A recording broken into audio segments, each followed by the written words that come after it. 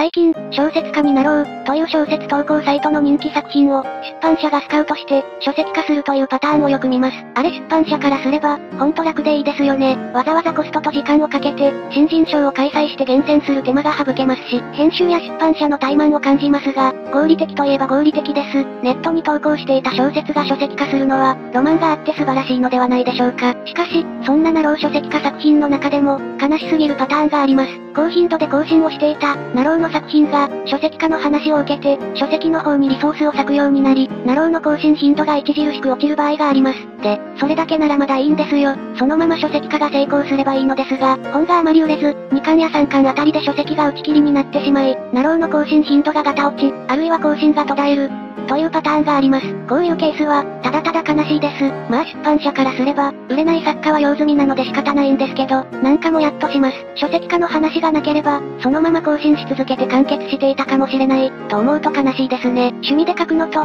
仕事として書くのでは、求められる水準が全く異なるということでしょうか。最後までご視聴ありがとうございました。